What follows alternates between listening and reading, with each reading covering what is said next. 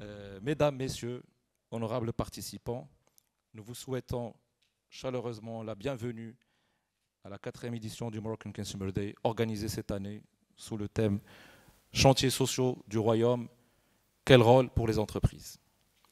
Comme vous le savez, cet événement constitue une plateforme et un forum d'échange entre les différentes parties prenantes concernées par la question de consommation, de marque, de pouvoir d'achat et plus largement du mieux vivre et du vivre ensemble.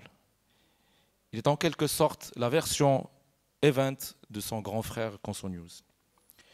Une quatrième édition, ce n'est pas rien.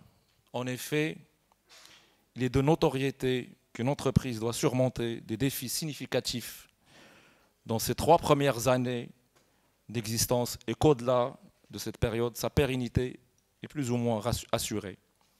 Mais pour un événement tel que le nôtre, atypique par nature, quel est le seuil fatidique? Avec la tenue de notre quatrième édition aujourd'hui, nous pouvons affirmer avec une certaine confiance que nous avons atteint un niveau équivalent à celui euh, d'avant euh, la pandémie de Covid-19.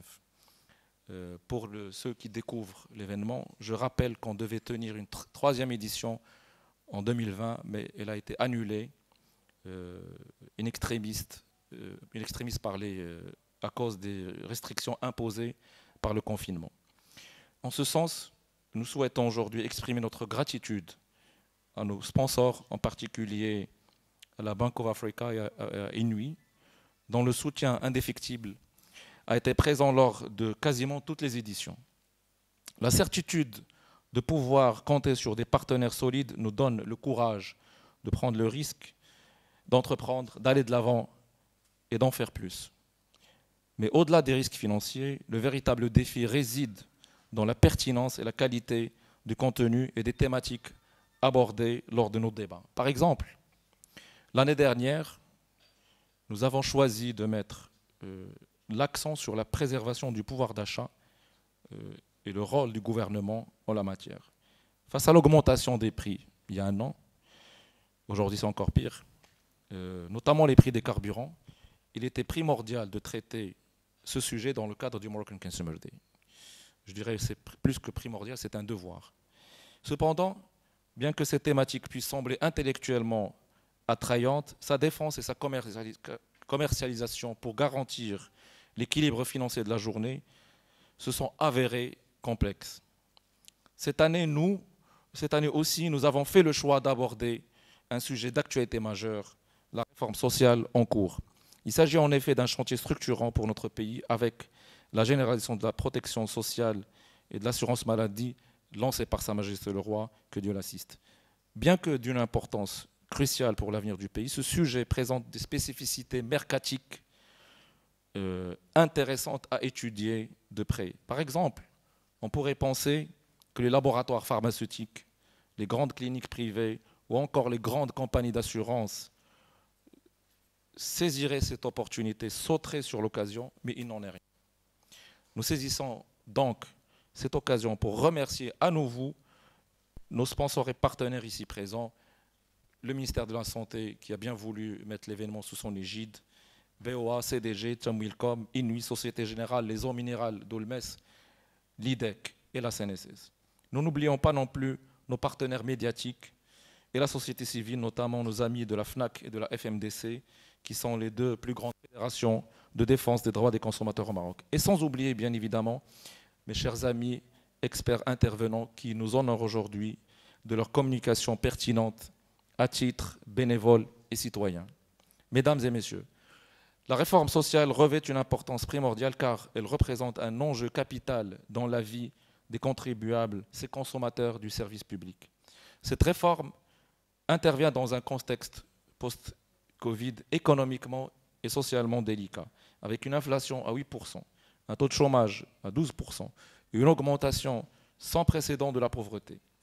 Comme vous le savez, dans une société moderne et dynamique, il est essentiel de prendre en compte les besoins et les aspirations de tous les citoyens. Une réforme sociale solide permet donc de créer un équilibre, de promouvoir l'égalité des chances et de réduire les disparités socio-économiques. Son objectif est de garantir à chaque individu, quelle que soit sa situation, un accès équitable aux services de base, à l'éducation, à la santé et à la protection sociale. En investissant dans la réforme sociale, le Maroc s'affirme comme un pays engagé dans la construction d'une société plus juste et inclusive pour tous. Dans le cadre de ce projet colossal, de cette ambition digne d'un pays millénaire, il est impossible de nier le rôle de l'entreprise. Sa Majesté le Roi l'a d'ailleurs souligné lors de son discours adressé aux membres des deux chambres euh, lors de l'ouverture de la session automne du Parlement en 2018. Je cite, Il est en effet crucial de mettre en place de nouveaux mécanismes pour renforcer la contribution du secteur privé à la promotion du social et l'inciter à participer activement à l'amélioration des prestations offertes aux citoyens. Cette contribution doit s'opérer tant dans le cadre de la responsabilité sociale des entreprises que par le biais de partenariats publics-privés dans le domaine social. Fin de citation.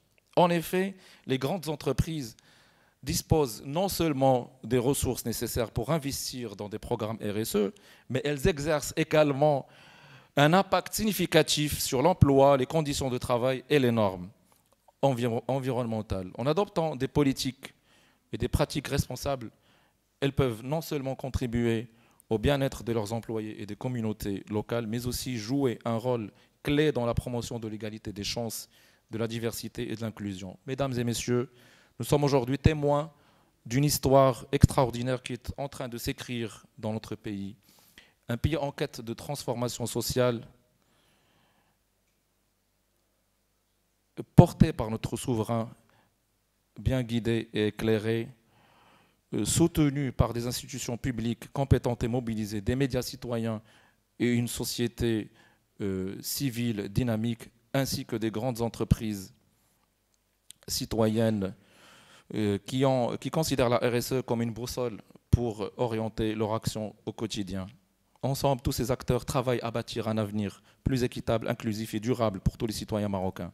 Nous sommes aujourd'hui tous invités à pratiquer cette histoire, à participer cette histoire, à la création de cette histoire. Chaque individu, chaque entreprise a le pouvoir de contribuer au changement en écoutant attentivement les voix de tous, en prenant des décisions responsables et en agissant de manière concertée. Nous pouvons façonner un Maroc où la réforme sociale devient une réalité tangible, où les droits des consommateurs sont respectés et où les grandes entreprises jouent un rôle clé dans le progrès social. Merci de votre attention.